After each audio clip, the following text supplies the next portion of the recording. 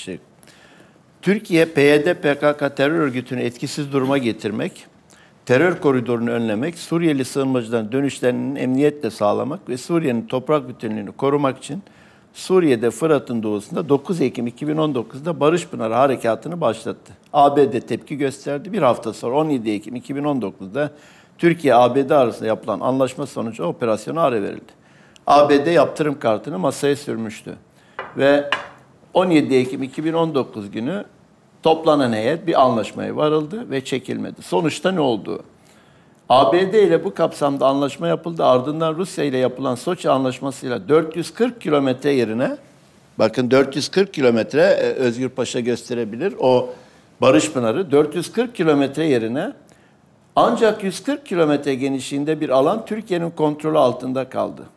Böylece yaklaşık 300 kilometre genişlikte 30 kilometre derinlikteki bölge ABD, Rusya, Suriye, PYD, PKK terör örgütünün kontrolünde kaldı. Ve Barış Pınarı Harekatı'nın hem askeri hem de siyasi hedefi maalesef gerçekleştiremedi. Dolayısıyla şimdi Türkiye aslında Barış Pınarı yapmış ama Barış Pınarı'nın üçte biri ancak gerçekleşmiş. Onun için ben de katılıyorum. İsrail'in Gazze üzerinden sürdürdüğü bu saldırı Suriye'ye, Irak'a sıçramadan Türkiye bu önlemi almalıdır.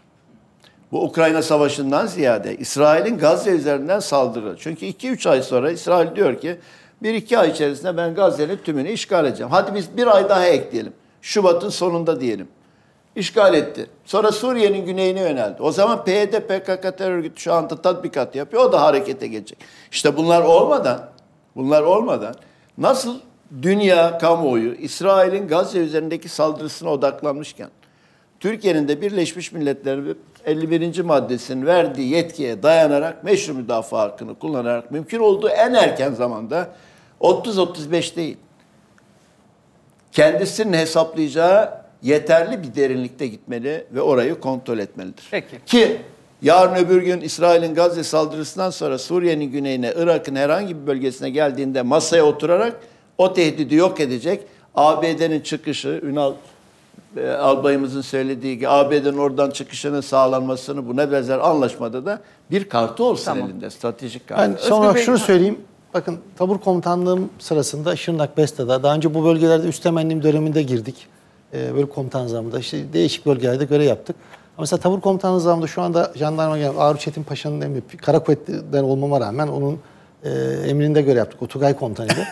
Ondan ben şunu öğrendim. Zamanlama çok önemli. Yani zamanlama acele etmeye her zaman her yaşta her rütbede insan bir şey öğreniyor.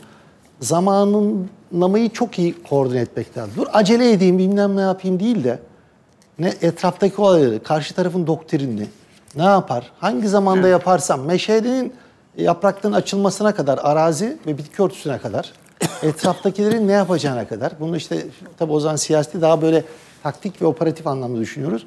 Öyle bir zamanda vuracaksınız ki bir yumrukta indireceksiniz. Eğer bunu daha dur öyle vurayım, şey böyle daha var. yoklayayım, böyle yapayım derseniz sıkıntıya düşersiniz. Zamanlama önemli ama e, bu Barış Pınarı'nda da aynı şey oldu. Diğerlerinde de öyle oldu.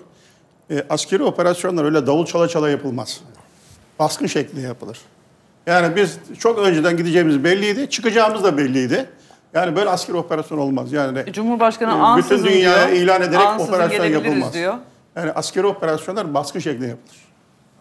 Hani Bu arada- Cumhurbaşkanı Evet, ansızın evet. gelebiliriz diyor biliyorsunuz. Bir gece ansızın. Bu arada Ama bizim bizim harekat durduğunda ne demişlerdi? İcraat meydanda. 45 gün içerisinde bizim harekat durdu 45 gün içerisinde 30 kilometre derinliğe bütün bu terör örgütü mensuplarını alacaklarını her iki tarafta Rusya'dan ve Devletler Taahhütte bulunmadılar. hiçbir Durmadılar. şey yok. Tamam. Yani bunlar da aslında bir tarafa konup gündeme getirilmesi Tamam lazım. az önce e,